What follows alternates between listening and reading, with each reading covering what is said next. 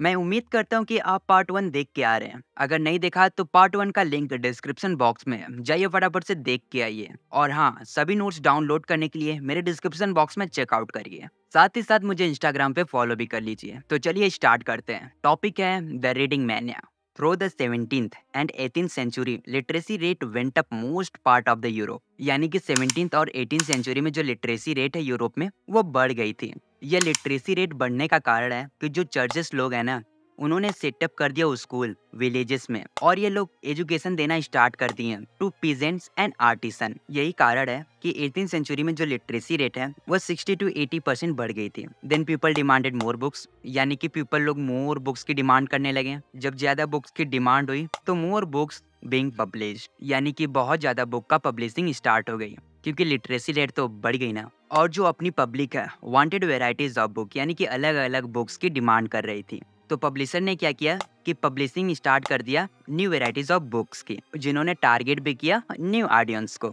यही नहीं, बल्कि जो बुक सेलर हैं, वो लोग हायर करते थे पेडलर्स को कि वह बुक को बेच पाए अलग अलग गाँव में। और यह लोग बुक बेचने के लिए अपने साथ ले जाते थे, जैसे कि अलमनास रिचुअल कैलेंडर्स बैलेट और कॉकटेल्स पेडलर्स क्या होता है? People who travel around and sell things यानी कि ऐसे लोग जो घूम घूम कर कुछ बेचा करते हैं। In England, penny chapbooks were carried by petty peddlers known as a chapman. इसका मतलब है कि इंग्लैंड में जो पेनी चेप बुक है उसको कैरिड करते थे पेटी पेडलर्स जिसको हम जानते थे चैपमैन के नाम से। और चेप बुक को बेचा जाता था एक पेनी में। पेनी क्या है? पेनी एक करेंसी है। और ये जो चेप बुक थी उसकी जो क्वालिटी थी पुअर क्वालिटी ऑफ़ पेपर थी। इसी कारण यह बुक सस्ती हो जाती थी जिससे poor could buy them same France में भी एक बुक को प्रिंट किया गया जिसका नाम था बिलित क्यूबलियो उसका भी जो पेपर क्वालिटी था, वो पुअर था। इसी कारण यह भी बुक सस्ती हो गई और गरीब लोग खरीद पा रहे थे। Then, there were the romances printed on four to six pages. और मोस्ट सब्सटेंशियल हिस्टोरीज जिसमें पास्ट के बारे में बताया गया था, यानी कि पास्ट की कहानियाँ थी। ईयरली एटीन सेंचुरी जो पीरियडिकल प्रेजेस है, उन सबने पब्लिश किया करंट अफेयर प्लस इंटरटेनमेंट और जो अपना न्यूज़पेपर एंड जर्नल है, उन सबने पब्लिश किया वार प्लस ट्रेड न्यूज़ के बारे में और डेवलपमेंट्स इन अदर प्लेसेस के बारे में। और कुछ ideas of scientist and philosophers हैं, जैसे कि अपने साइंटिस्ट हो गए sir Isaac Newton Voltaire Jean Jacques Rousseau अब बात करते हैं tremble therefore tyrants of the world. By the mid 18th century, many believed that books could change the world. यानी कि मिड 18th सेंचुरी में लोग विश्वास करते थे कि जो बुक्स है वो पूरे संसार को चेंज कर सकती है लुई सेबेस्टियन मर्जियर यह बिलीव करते थे कि जो प्रिंट है उसके पास इतनी पावर है कि यह डिस्पोटिज्म को एंड कर सकती है डिस्पोटिज्म का मतलब होता है a rule where there is no control over rulers power यानी कि यह एक ऐसा रूल है, जहाँ पर रूलर्स की पावर ही कंट्रोल में नहीं है। डिस्पोटिज्म की मीनिंग लिखनी हो एग्ज़ाम में तो यह एनसीईआरटी वाला लिखेगा, इससे एक परसेंट भी मार्क्स नहीं कटेंगे। लुइस सेबेस्टियन मर्जियर यह भी मानते थे कि जो प्रिंटिंग प्रेस है, वो मोस्ट पावरफुल इंजन है प्रोग्रेस एंड पब्लिक ओपिनियन के लिए, और यह force that will be swift कर सकता है डिस्पोटिज्म वे को। और लुइस सेबेस्टियन मर्जियर थे, ये एक फ्रेंच नॉवलिस्ट थे। इन्हीं सबको मानते हुए लुइस सेबेस्टियन मर्जियर ने एक statement the tremble therefore tyrants of the world tremble before the visual writer इसका मतलब है कि जो प्रिंट है यह एक ऐसा टूल है जो सोसाइटी में डिक्टेटरशिप को पूरी तरह से खत्म कर सकता है। इसमें इतनी ज़्यादा पावर है।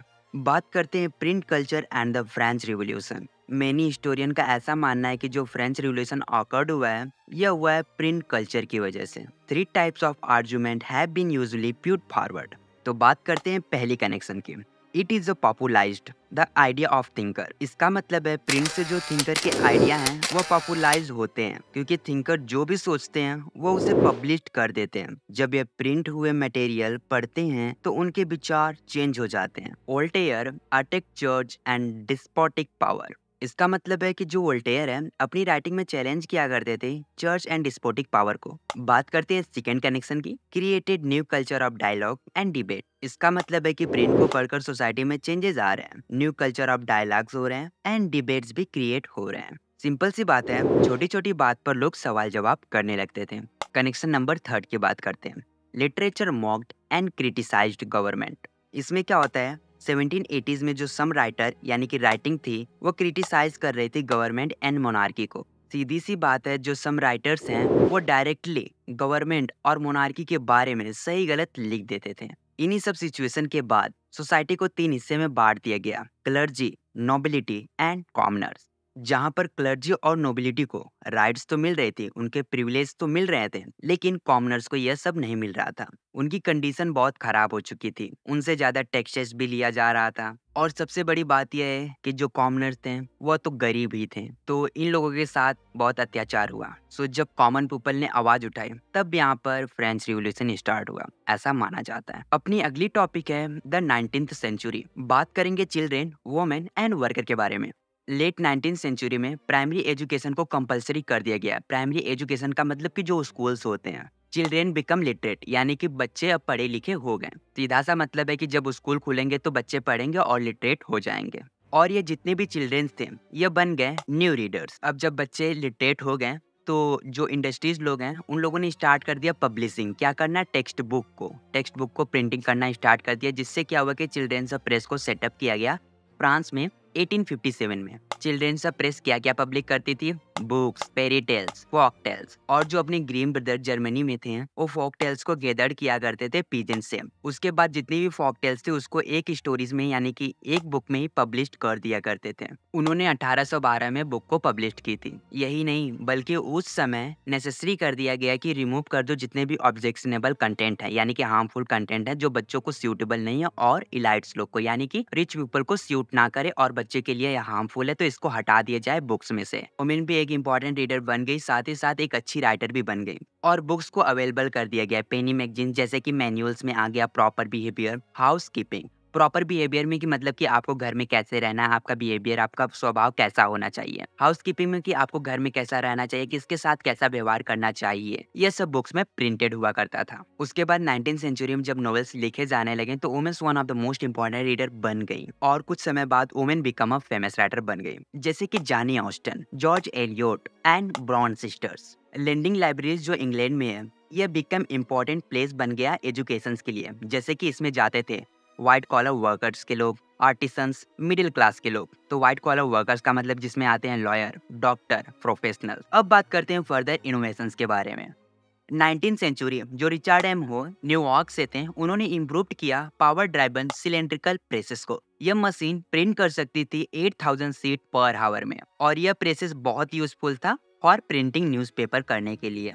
उसके बाद ऑफसेट प्रेस आया, जिसके पास एबिलिटी थी कलर करने के लिए, six colour at a time, यानी कि एक समय पे छह कलर प्रिंट कर सकता था। ट्वेंटी सेंचुरी में इलेक्ट्रिकली ऑपरेटेड प्रेसेस को स्टार्ट किया गया, ऑपरेट करना। सम मोर डेवलपमेंट भी किया गया, उसके बाद इम्प्रूवमेंट भी किया गया, जैसे की feeding paper, plates, paper reel कुछ ऐसा दिख रहा था, यहाँ पे आपको पिक्चर दिखाई जा रही है। यही सब देखते देखते सीलिंग सीरीज़ भी आ गई। सीलिंग सीरीज़ का मतलब कि बंडल वाली किताबें। और वो बहुत सस्ती थी, जिसको पब्लिश किया गया इंग्लैंड में 1920 में। ये सब हो जाने के बाद भी उसके बाद एनोदर इनोवेशन कर दिया गया।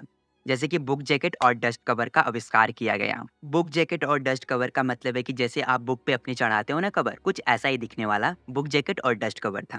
1930 में एक वन सेट था ग्रेट डिप्रेशन का। इसकी वजह से जो पब्लिशर है, उसने सस्ती सस्ती बुक को बनाने लगा, यानी कि चीप पेपर बैक एडिशन अभी तक हम सभी लोग देख रहे थे अलग अलग कंट्री के प्रिंट के बारे में, लेकिन अब जान लेते हैं इंडिया के प्रिंट के बारे में। सो टॉपिक है India and the world of print manuscript before the age of print. इसका मतलब है कि प्रिंट से पहले मैन्यूस्क्रिप्ट, यानी कि इसमें हम जानेंगे कि मैन्यूस्क्रिप्ट कैसा था प्रिंट से पहले। सिंपल सी बात है, जब प्रिंट नहीं आया हुआ था इंडिया में तो मैन्यूस्क्रिप्ट कैसा था इंडिया में? आइए जानते हैं। इंडिया के पास old edition of hand written manuscript ढेर सारी थी। संस्कृत में थी Arabic Persian as well as vernacular language में भी थी। वर्नाकुला लैंग्वेज का मतलब है कि मातृभाषा। तो आप लोग कमेंट करके बताओ कि हम लोगों की मातृभाषा क्या है? मैन्यूस्क्रिप्ट को कॉपीड यानी कि बनाया जाता था हैंडमेड पेपर और पाम लिप्स पर। मैन्यूस्क्रिप्ट को अच्छा यानी कि ब्यूटीफुल इलस्ट्रेट करने के लिए हम लोग क्या करते थे कि दो लकड़ियों के बीच में मैन्यूस्क्रिप्ट को दबा दिया करते थे या फिर सिल दिया करते थे साथ में। मैन्यूस्क्रिप्ट के कुछ ड्रॉबैक्स भी थे।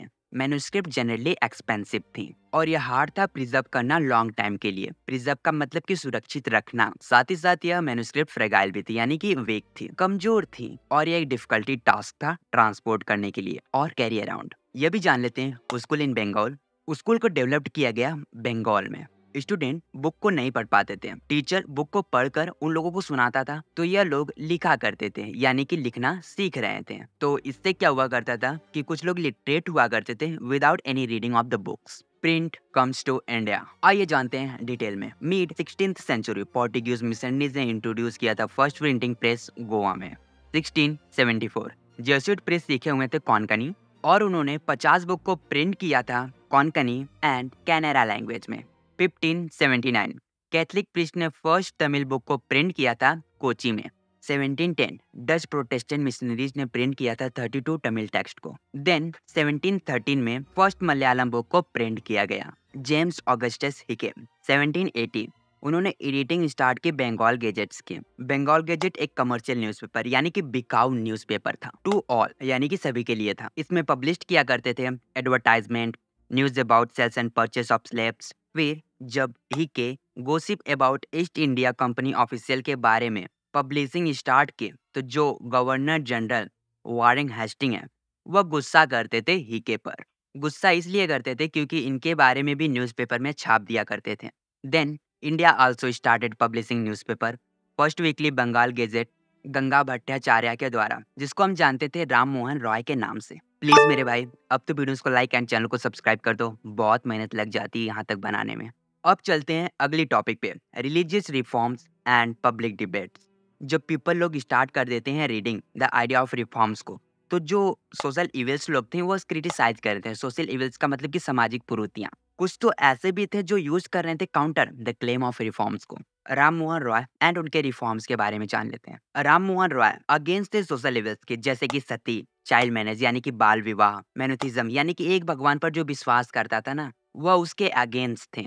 राम मोहन रॉय 1821 से पब्लिश किया करते थे संवाद कमोडी को और उन्होंने अपोज किया हिंदू ऑर्थोडॉक्सी को, समाचार चंद्रिका को लॉन्च कर कर। 1822 से टू पर्शियन न्यूज़पेपर को पब्लिश किया गया। पहला का नाम था जामी जहान नमा एंड दूसरा है समसूल अखबार और इसी सेम ईयर में गुजराती न्यूज़पेपर को लॉन्च किया गया, जिसका नाम था बॉम्बे समाचार। अब जान लेते हैं द फियर ऑफ़ उलामा, यानी कि उलामा का डर। उलामा क्या है? Legal scholars of Islam and the Sharia, यानी कि इस्लाम के कानून विद्वान। सिंपल सा बोले, a body of Islamic law. उलामा का डर क्या था? उनका डर यह था कि मुस्लिम डायनेस्टिंग कॉलेप्सिंग, यानी कि गिर ना जाए। उनका यह भी डर था, अगर ये लोग कॉलोनाइजर हो गए तो यह भी हो सकता है कि मुस्लिम पर्सनल लॉ चेंज हो जाए। Use cheap lithographic presses to public book and fatwas को यूज़ किया करते थे। फतवास क्या है? Legal document. साथ ही साथ हिंदुज़म एंड प्रिंट्स के बारे में भी बात कर लेते हैं। हिंदूज प्रिंट टेक्नोलॉजी जो थी, वह इनकरेज करती थी रीडिंग ऑफ़ रिलीजियस टेक्स्ट को इन द वर्नाकुलर लैंग्वेज यानी कि लोकल लैंग्वेज में। 1810 में फ़र्स्ट प्रिंट की गई रामचरित मानस, जिसको लिखा गया था तुलसीदास के द्वारा, और यह रिलीज़ हुई थी कलकत्ता में later nineteen century lithographic books की पूरी बाढ़ आ चुकी थी, यानी कि इतनी सारी बुक आ चुकी थी नॉर्थ इंडियन मार्केट में। और यह बुक चीप थी, यानी कि सस्ती थी। 1880 से नवल किशोर प्रेस, जो कि लखनऊ में है, और साथ ही साथ श्री वेंकटेश्वर प्रेस, जो कि बॉम्बे में है। उन सबने स्टार्ट किया publishing, number of religious text in vernacular language. Vernacular language का मतलब कि लोकल लैंग्वेज। सिंपल सा बोलो, नवल किशोर और श्री वेंकटेश्वर प्रेस, ये सब लोग पब्लिश कर रहे थे धार्मिक किताबें, लोकल लैंग्वेज में। यही नहीं, बल्कि यह बुक अलग अलग स्थानों से खरीदी जाने लगी। और यह बुक इलिटरेट लोग के द्वारा भी पढ़े जाने लगा मैन एंड वुमेन इलिटरेट का मतलब कि जो पढ़े लिखे नहीं है। इन्हीं की वजह से जो धार्मिक बुक है, वो बहुत बड़ी मात्रा में फैल चुकी थी लोगों के सामने। प्रिंट की सबसे अच्छी बात यह है कि वह सभी की मदद कर कर सभी को साथ में लाई और एक डिफरेंट कम्युनिटीज का आविष्कार की, यानी कि फॉर्मेशन तो चलिए अगली टॉपिक पे चलते हैं। न्यू फॉर्म्स ऑफ़ पब्लिकेशन आइए इसमें बात करते हैं। इसमें क्या हुआ कि जब नॉवेल्स आए तो ज़्यादा से ज़्यादा पीपल यानी कि सभी लोग पढ़ना सीख गए थे। जब ये लोग पढ़ना सीख गए तो और भी सारी बुक पढ़ना चाहते थे। जैसे कि ये खुद का जीवन देखना चाहते थे एक्सपीरियंस इमोशन और रिलेशनशिप साथ ही साथ दैनिक जीवन के बारे में भी जानना चाहते थे इस बुक्स में। मेरा मतलब है कि पढ़ना चाहते थे। यही सब देखते देखते एक लिटरेचर को डेवलप किया गया यूरोप में, जो कि इनकी जरूरतों यानी कि नीड्स को पूरा कर सकता था।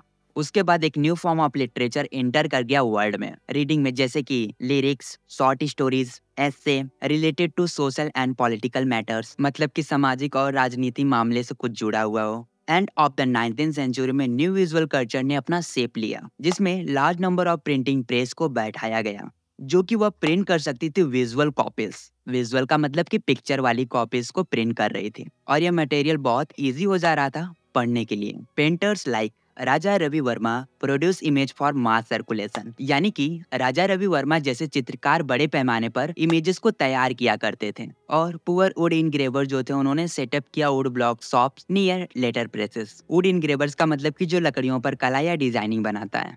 उन लोगों ने क्या किया कि लेटर प्रेसेस के नज़दीक ही वुड ब्लॉक्स शॉप्स को लगाया। जैसा कि आप यहाँ पे देख पा रहे हो, इससे क्या होगा कि जिसको भी डिज़ाइनिंग करवानी हो, वह वुड ब्लॉक शॉप पे आएगा और डिज़ाइनिंग करवा लेगा। साथ ही साथ जो गरीब थे वह कैलेंडर को खरीदा करते थे और डेकोरेट, यानी कि सजाया करते थे अपनी दीवालों को। कुछ समय बाद 1870 में कार्टून एंड कैरिकेचर को पब्लिश किया जाने लगा न्यूज़पेपर में। इसमें इंडियन का मज़ाक उड़ाया जाता था, जिन्होंने अपनाया हुआ था वेस्टर्न कल्चर, यानी कि पश्चिमी संस्कृति को जिसने अपनाया हुआ था, उसका वह लोग मज़ाक उड़ाते थे। अब बात कर लेते हैं वोमेन एंड प्रिंट के बारे में। वोमेन, इम्पोर्टेंट रीडर के साथ एक अच्छी राइटर भी बनी। औरतों के एजुकेशन के प्रति कुछ थॉट थे। आइए जानते हैं हिंदूज में क्या थॉट थी। इसमें यह था कि अगर औरतें पढ़ी लिखी हो जाती हैं तो यह विडोड यानी कि विधवा हो जाती हैं। विधवा का मतलब कि जिसका पति मर गया हो। मुस्लिम में यह थॉट थी कि उर्दू के जो रोमांसेस थे, वह भ्रष्ट हो सकते हैं वोमेन के द्वारा, अगर वह पढ़ी लिखी हो जाती हैं।